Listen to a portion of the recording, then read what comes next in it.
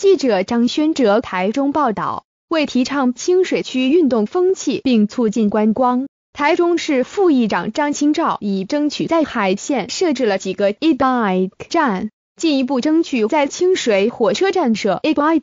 今日上午举行会刊，清水区长张明昌表示，公所将在水沟上加盖设 e-bike，加盖工程预计两个月可完成。张清照指出。已在清水区内争取设置了清水牛码头停车场前的 e-bike 站，另外在高美湿地也设了三个 e-bike 站。接下来争取在清水火车站、紫云岩、清水高中设及鳌峰山设 e-bike 站，市府正在规划中。今天还有清水区南社里长严朝雄、海丰里长黄玉瑞、田寮里长许进兴、清水里长陈安吉。中社里长王玉兰，西社里长杨茂雄，西宁里长王庆元，北宁里长季文来等人到场关心会刊。严朝雄说，多位里长反映清水火车站前设 A bike 站，但火车站前没有多余空间，